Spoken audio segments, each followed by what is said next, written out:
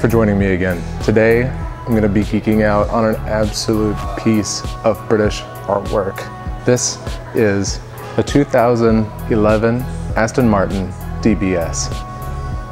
When Aston Martin set out to design this iconic piece of hardware, they started with the DB9. They started with the VH platform, which is the uh, undercarriage that the, all of their sports cars are on. This one is about 25 millimeters lower 40 millimeters wider. The lines on this car are just absolutely fantastic. It looks like it would just slide right through the air.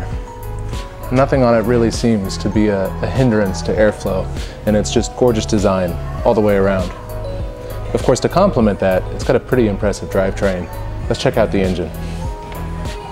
Let's see what this beauty has under the hood.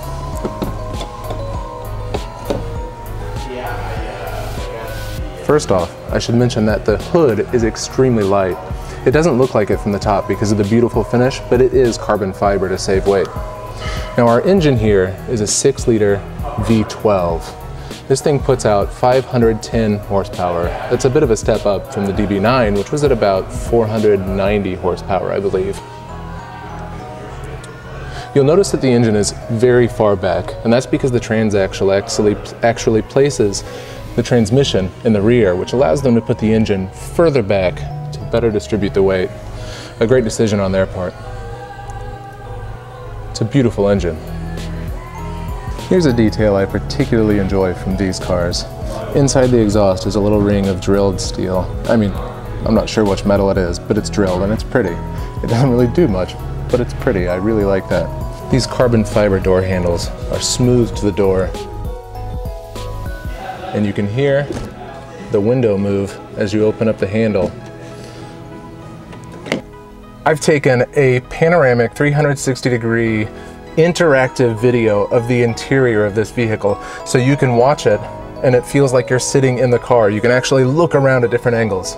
Be sure to click, click the link in the description or the link that pops up in an annotation to check that out. You watch it on your phone, you move it around, and you can see all the details. It's pretty cool. The inside of this car is fantastic. It's cozy, it's spacious, the Alcantara on the steering wheel feels warm to the touch and very comfy. The center console here is reflective, which some people like and some people don't. I think it's all right.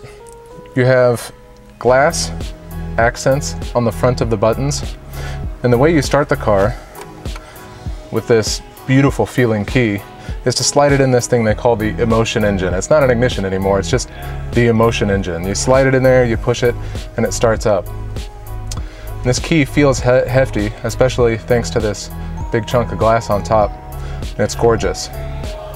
But here's an interesting fact. Even though you have this hefty key and glass on the actual buttons themselves that has a considerable weight addition, They've spared no, no expense in, in reducing the weight of the vehicle all around. You have carbon fiber everywhere, even where you can't see it, uh, such as the hood that's been finished and it's all over in the doors. Even the carpet in this car is a special weave to be low weight. So why would a company choose to do low weight everything, but go with things like heavy glass and a heavy key? Well, I mean, those aren't going to add a whole lot of weight to the car, but you also have to consider your experience driving it. You touch this, you feel this, and you don't want it to feel light and cheap. Your carpet, your shoes touch, and you won't feel a difference between putting your foot, your shoe, on a lightweight carpet and a regular carpet. There are some other decisions they made that I find especially interesting. They pride themselves on the fact that they use the golden ratio wherever possible. Now the golden ratio is a bit difficult to explain, but it's a common ratio in design that's supposed to be very pleasing to the eye.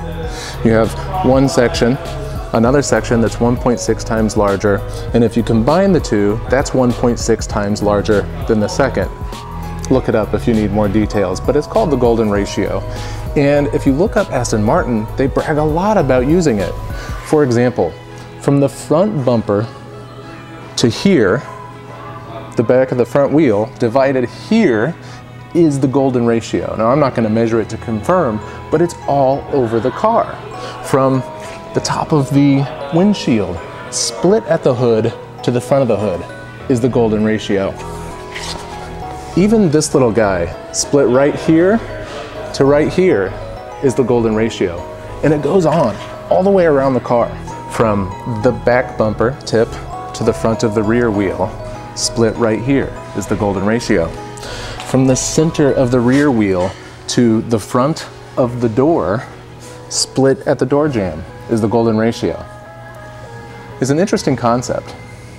I want to give a special thanks to Premier Sports Cars for letting me come in here and geek out on these amazing machines. This is not a museum, it's a business. People can't just walk in off the street and gawk at these cars, so I appreciate them being patient with me while I film. If you'd like to see some more explorations of unique and exotic cars, be sure to subscribe for more.